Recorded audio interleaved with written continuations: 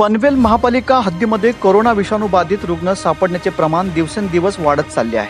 महापालिका क्षेत्रात शुक्रवारी पंधरा नवीन कोरोनाबाधित रुग्ण सापडले असून यामध्ये सर्वाधिक आठ रुग्ण कामोट्यामध्ये. खांदा कॉलनी येथे एक कळंबोली येथे दोन पनवेल शहरात एक आणि खारघरमध्ये तीन रुग्ण सापडले आहेत. तसेच आज कामोट येथील दोन आणि नवीन पनवेल येथील दोन असे चार कोरोनाबाधित रुग्ण बरे झाले आहेत. कामोटे सेक्टर पस्तीस संकल्प सोसायटीमधील दोन व्यक्ती सेक्टर दहा विक्रम टॉवर येथील चोपन्न वर्षीय व्यक्ती. सेक्टर बावीस तिरुपती सोसायटी येथील एकतीस वर्षीय एक महिला. सेक्टर अकरा महादेव पाटील सोसायटी येथील सत्तावन्न वर्षीय एक व्यक्ती. सेक्टर सोळा प्राईड सोसायटी येथील छप्पन वर्षीय एक महिला.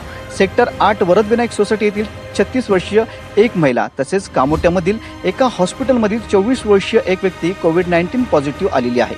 खांदा कॉलनी सेक्टर सहा निळकंठ पार्क सोसायटी येथील चौसष्ट वर्षीय एक व्यक्ती कळंबोली सेक्टर चौदा संस्कृती अपार्टमेंट येथील छत्तीस वर्षीय एक व्यक्ती सेक्टर अकरा गुरुकुटीर कॉम्प्लेक्स येथील पंचेचाळीस वर्षीय एक महिला खारगर सेक्टर पस्तीस एच स्मिथ सोसायटी येथील चौतीस वर्षीय एक व्यक्ती सेक्टर पंधरा गुरुकुल कुंजविहार येथील पंधरा वर्षीय एक मुलगी सेक्टर पाच सावली सोसायटी येथील एकतीस वर्षीय एक महिला आणि पनवेल तक्का मोराज रिव्हरसाईड पार्क येथील तेहतीस वर्षीय एक महिला कोरोनाबाधित झाली आहे. आज भेटलेल्या कोरोनाबाधित रुग्णांमुळे महापालिका क्षेत्रातील कोरोनाबाधितांचा आकडा हा दोनशे चौतीसवर पोहोचला आहे.